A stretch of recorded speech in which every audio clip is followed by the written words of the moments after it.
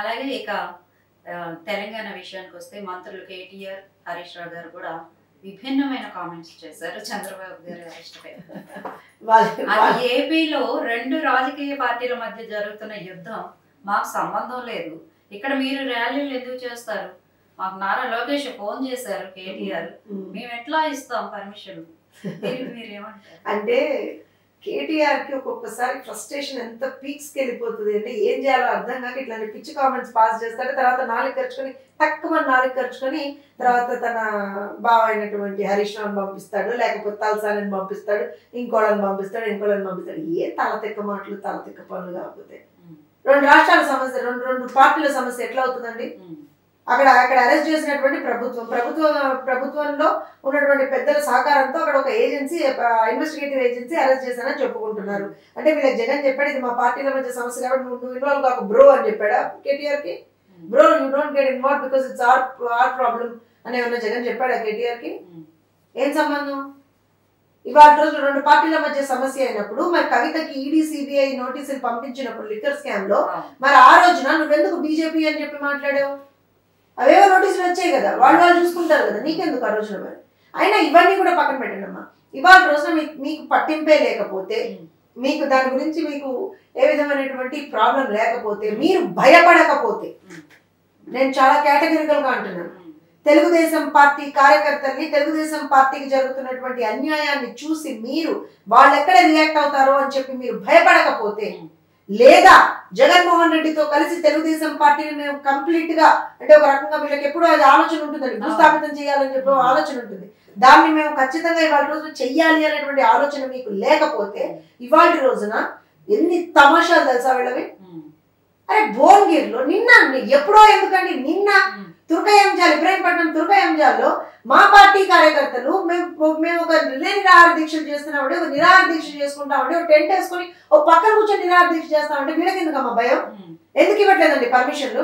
ఎక్కడ నేను నేను హైదరాబాద్ ఒకటే చెప్పట్లేదు. రాష్ట్ర వ్యాప్తంగా చాలా చోట్ల కొన్ని చోట్ల కొంచెం పోలీసు ఓకే బట్ చాలా చోట్ల వీళ్ళు ఏదైనా మా వాళ్ళు ఏదైనా ఒక ప్రోగ్రామ్ పెట్టుకున్నా నిరాహార దీక్షనా నిరసన దీక్షనా లేకపోతే ఒక చిన్న పాదయాత్ర లాంటిది పెట్టుకున్నా సరే ఉమ్, నిస్సిగ్గుగా దాన్ని అణిచేస్తున్నారు. ఉమ్, నిస్సిగ్గుగా. మీకు భయం లేకపోతే మీకు టీడీపీని మీరు మీరు వాటి రోజున టీడీపీ మీద మీరు కూడా దాడి చెయ్యకపోతే మీకేం అధికారం ఉందని చెప్పి మా భావ ప్రకటన స్వేచ్ఛని మాకున్నటువంటి ప్రాథమిక హక్కుల్ని మీరు వాటి రోజున అణిచేస్తున్నారు చెప్పండి? ఎవరిచ్చాడు మా వీళ్ళకి అధికారం? నిరసన దీక్ష అనేటువంటిది నిరసన చేయడం అనేటువంటిది ఒక భారతీయ పౌరులుగా మాకున్నటువంటి ఒక ప్రాథమిక హక్కు. దాన్ని వీళ్ళు ఎవరు ఇవాళ ఏ రకంగా ఉల్లంఘిస్తారు? మా హక్కుల్ని ఎలా ఉల్లంఘిస్తారు వీళ్ళు? ఆ మాట మాట్లాడిన తర్వాత నెక్స్ట్ డే వెళ్ళి డామేజ్ కంట్రోల్ మెషర్స్ ఖమ్మంలో ఎన్టీఆర్ పార్క్ ఓపెనింగ్లో డామేజ్ కంట్రోల్ మెషర్స్ చేశానని అనుకుంటున్నాడు. కానీ ఆ రోజు ఏం చేశారో చెప్పమంటారా? ఉమ్, ఖమ్మంలో ఖమ్మం ప్రాంతంలో మనకి ఎన్టీ రామారావు గారి అభిమానులు చాలా మంది ఉంటారు. అలానే తెలుగుదేశం పార్టీ అభిమానులు చాలా మంది ఉంటారు. ఎన్టీ రామారావు గారి పేరు మీద ఒక పార్కు ఎన్టీ రామారావు గారి విగ్రహాన్ని మీరు ఆవిష్- ఆవిష్కరిస్తున్నప్పుడు ఆవిష్కరించడానికి మీరు వెళ్ళినప్పుడు ఉమ్, ఎన్టీఆర్ అభిమానుల్ని ఎన్టీఆర్ అభిమాన సంఘ నాయకుల్ని తెలుగుదేశం పార్టీ నాయకుల్ని ఎందుకు ముందస్తు అరెస్టు చేయించారు? తెల్లవారుజామున పోయి వాళ్ళ ఇళ్ళలో వాళ్ళని తీసుకొచ్చి స్టేషన్లలో ఎందుకు రోజంతా మీరు వచ్చి మీరు మళ్ళీ వెళ్ళేంత వరకు ఎందుకు రోజంతా కూర్చోబెట్టారు? ఎందుకు కూర్చోబెట్టారు? నిన్న నేను చెప్పినటువంటి తుర్కయంజాల్లో కూడా ఇదే పరిస్థితి. ఇబ్రాహీంపట్నంలో. పొద్దు నుంచి సాయంత్రం వరకు వాళ్ళని కూర్చోబెట్టారు. మొన్న కూడా మా మా వాళ్ళు కొంతమంది మేము పాదయాత్రగా వెళ్తామండి యాదగిరి గుట్టకి అంటే వాళ్ళని అలానే రాత్రంతా స్టేషన్లో కూర్చోబెట్టారు. అరే ఏంటిది? అండ్ నేను వచ్చాము బయటకు వచ్చి హరీష్ రావు దురదృష్టకరం అని చెప్పి ఒక స్టేట్మెంట్ నేను ఇవన్నీ కాదమ్మా ఒకటే అడుగుతున్నా. మీది భారత రాష్ట్ర సమితి కదా? తెలంగాణ రాష్ట్ర సమితి కాదు కదా. భారత రాష్ట్ర సమితి కదా? మీ నాయకుడు దేశక నేత కదా? దేశాన్ని ఉద్ధరిస్తామని వెళ్తున్నారు కదా మీరు? ఇక్కడ అయిపోయింది ఉద్ధరించేస్తాం దేశాన్ని ఉద్ధరిస్తామని వెళ్తా ఉంటున్నారు కదా మీరు? ఆంధ్రప్రదేశ్లో కూడా మీకు పార్టీ ఉంది కదా? ఆంధ్రప్రదేశ్ కూడా మీకు ఒక రాష్ట్ర అధ్యక్షుడు ఉన్నాడు కదా? ఆంధ్రప్రదేశ్లో కూడా మీరు ఒక పార్టీ కార్యాలయాన్ని ఏర్పాటు చేసుకున్నారు కదా? మరి మీ స్టాండ్ ఏంటి? ఉమ్, చంద్రబాబు నాయుడు గారి అరెస్ట్ సంబంధించి ఎందుకంటే ఇక్కడ ఏదో రెండు పార్టీల మధ్య సమస్య కాదమ్మా.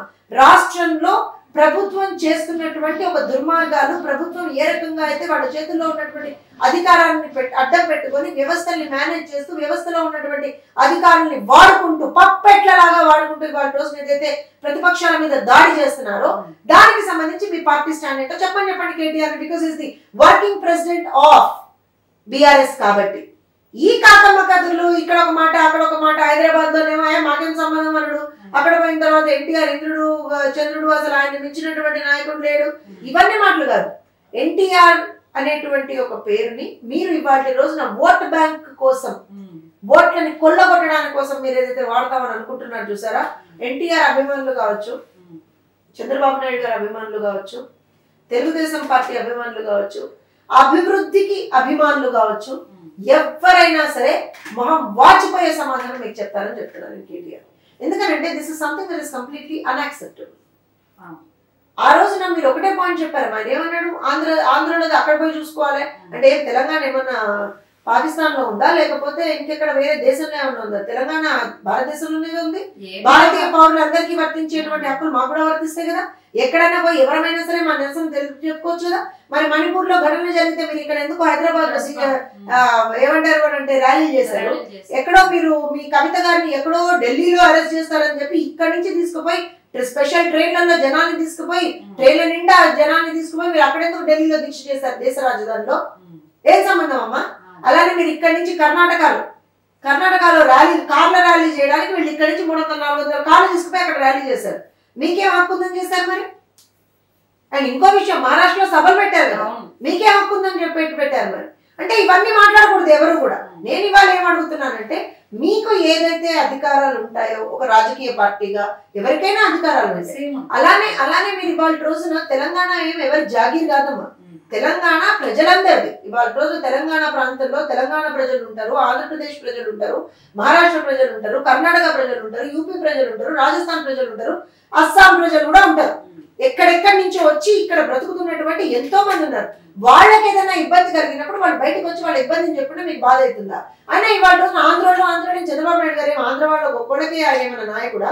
అరే వాళ్ళ తెలంగాణ ప్రాంతాన్ని అభివృద్ధి చేసినటువంటి నాయకుడు తెలంగాణని ప్రపంచ పటంలో పెట్టినటువంటి నాయకుడు హైదరాబాద్ ప్రపంచ పటానికి తీసుకెళ్ళినటువంటి ఒక నాయకుడు.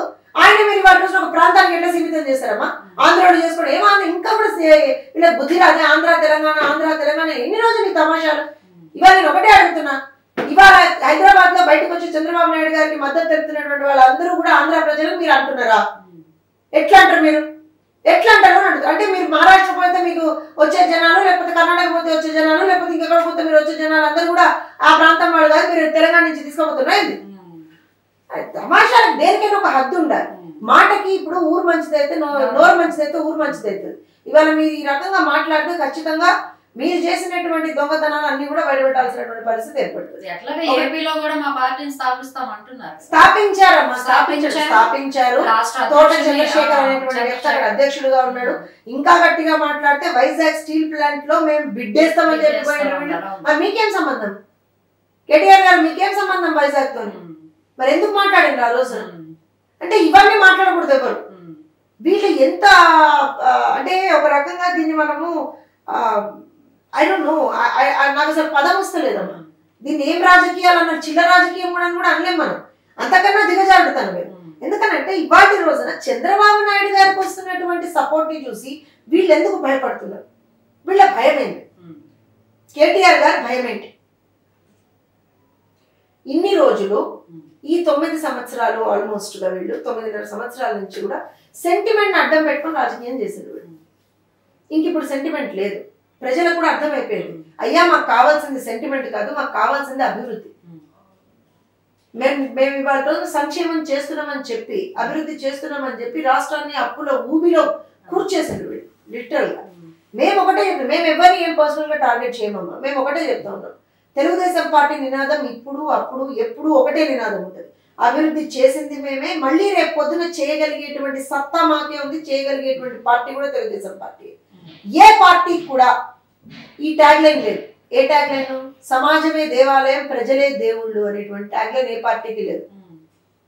ఒకళ్ళేమో నిజంగా ఇవాళ రెండు తెలుగు రాష్ట్రాల్లో ఉన్నటువంటి ప్రభుత్వాలకు సంబంధించినటువంటి పార్టీలను చూస్తే మనం ఒక పార్టీ ఏమో వాళ్ళ తండ్రి గారు ఆ పార్టీ అధినేత గారి తండ్రి గారు చనిపోతే ఆయనకి ముఖ్యమంత్రి పదవి ఇవ్వలేదు కాబట్టి నేను సెపరేట్గా పార్టీ పెడతా అన్నటువంటి వ్యక్తి వాళ్ళ ఆంధ్రప్రదేశ్లో ముఖ్యమంత్రి ఆ పార్టీ అక్కడ ఉంది. అలానే తనకి మంత్రి పదవి రాలేదు కాబట్టి ప్రాంతం అనేటువంటి ఒక సెంటిమెంట్ అడ్డం పెట్టుకొని ముందరకు వచ్చి నిజంగా నేను నేను నేను ఖచ్చితంగా ఉద్యమ నాయకుడు అనేటువంటి మాటకి కేసీఆర్ ఎప్పుడు గౌరవిస్తాం లేదు. అది ఎక్కడ వెనక్కి తగ్గే ప్రసక్తి లేదు.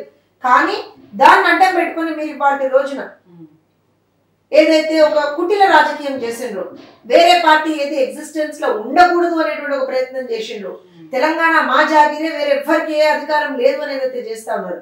దాన్ని నేను ఖచ్చితంగా విమర్శిస్తాను ఈ రెండు పార్టీలు ఇవాళ అధికారంలో ఉన్నాయి కదా వాళ్ళ వాళ్ళ వాళ్ళ ఆ రెండు పార్టీలకి ఉమ్మడి శత్రువు అంటారు చూసినరా వాళ్ళకి ఎందుకు అనంటే తెలుగుదేశం పార్టీయే వాళ్ళకి మెయిన్ టార్గెట్ ఎందుకు అనంటే మేము ప్రజల తరఫున పనిచేస్తాం.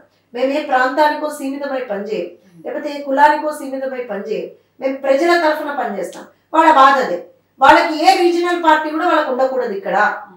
అటు తెలుగుదేశం ఉండకూడదు అనేటువంటిది ఇటు కేసీఆర్ మతలబ్ అదే అటు జగన్మోహన్ రెడ్డి మతలబ్ అదే వాళ్ళిద్దరు తోడు దొంగలే. ఎవరు అవునన్నా కాదన్నా వాళ్ళ దోస్తానా చాలా క్లియర్గా చాలా కేటగిరికల్గా చాలా స్పెసిఫిక్గా చాలా క్రిస్టల్ క్లియర్గా చాలా సందర్భాల్లో బయటపడింది. మళ్ళీ ఈ ఇష్యూ తోటి చాలా అంటే నేను ఇందాక చెప్పాను కదా వాళ్ళ వాళ్ళ స్నేహితుడికి చాలా బ్రహ్మాండంగా ఈయన సపోర్ట్ చేస్తా ఉన్నారు ఉమ్. స్నేహ ధర్మాన్ని వాళ్ళ రోజున కేటీఆర్ నిర్వర్తిస్తా ఉన్నాడు అని చెప్పాలి.